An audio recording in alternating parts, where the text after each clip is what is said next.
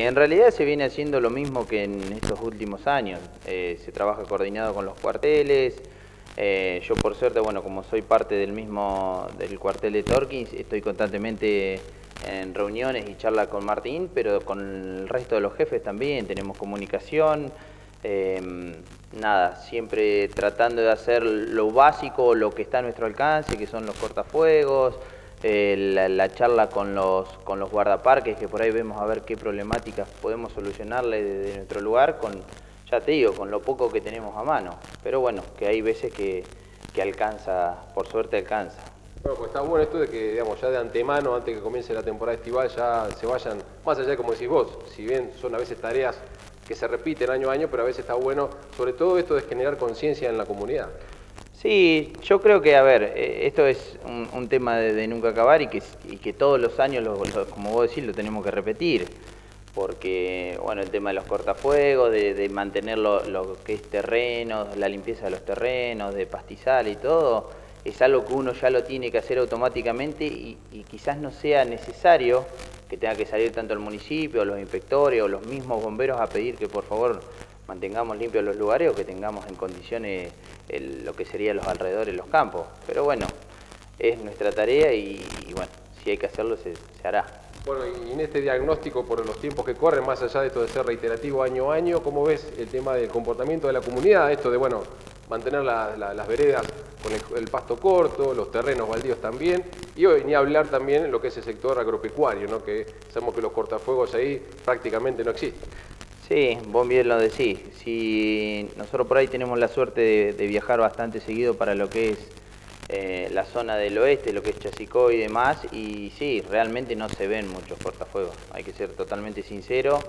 Eh, y nada, el, productor tiene que entender que aunque sea costoso y aunque nada, la, economía no esté a favor de él, eh, lo tiene que pensar como una inversión porque después si vos tenés que recuperar tanto alambrados como, como tranquera y demás, quizás sea más caro, no lo sabría ciencia cierta, pero seguramente sea más caro que, hacer un trabajo donde un cortafuego por ahí te puede ayudar o salvar. Y pensando en lo propio, pero también hay que pensar eh, en los vecinos que te rodean, ¿no?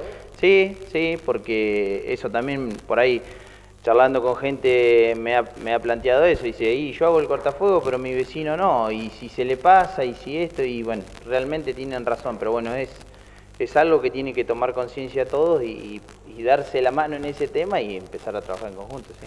Bueno, eh, lo decías vos, se mantienen en contacto con los distintos cuarteles. Eh, bueno, ¿cómo, ¿cómo, ves eh, esta, esta temporada estival? Digo, porque la lluvia nos había acompañado hasta determinado momento, era como que va tomando un color amarillo importante todo lo que es el sector serrano. Sí, sí, vos bien lo decís. Hoy, hoy ya empezaron a ser días de, mucho calor, mucho viento.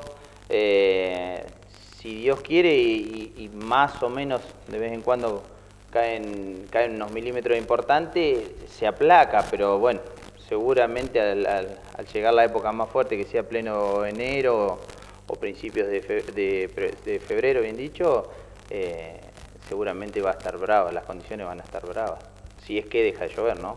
Bueno, eh, hablando, vos decías, ¿no? Reunión con, eh, los cuarteles, tratando de bajar información a la comunidad, reunión con el intendente, digo, bueno, tratando de mantenerle eh, con un panorama informativo en relación a cómo está hoy la situación en cuanto a pastizales y bueno, todo el dispositivo que ojalá no se tenga que desplegar en caso de un incendio. Sí, este año, este año bueno, ya te vuelvo a decir, con lo poco que teníamos a mano, con las maquinarias que, que teníamos disponibles, se hizo sí una reunión con el parque, se pusieron las máquinas, estuvieron alrededor de 15 días en lo que era el sector serrano y bueno, ahí un poco coordinados por los, por los guardaparques y un poco por también eh, por el delegado de la gruta y demás, se fue haciendo eh, unos cortafuegos, ¿sí?